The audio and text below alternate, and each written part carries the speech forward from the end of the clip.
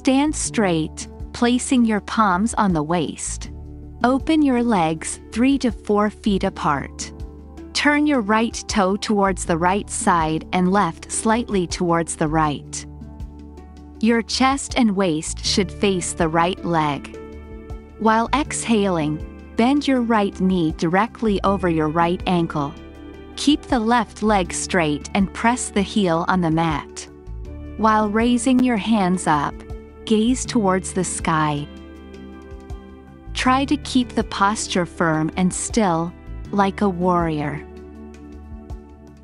Bring your hands down and turn your left toe towards the left side and right slightly towards the left.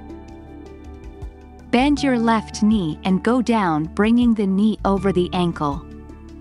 Raise your hand up and join the palms above your head. Look up and hold the posture. Engage the core. Notice the power and solidity in your whole body. Exhale. Release your hands. Turn your feet forward and return to the center with ease.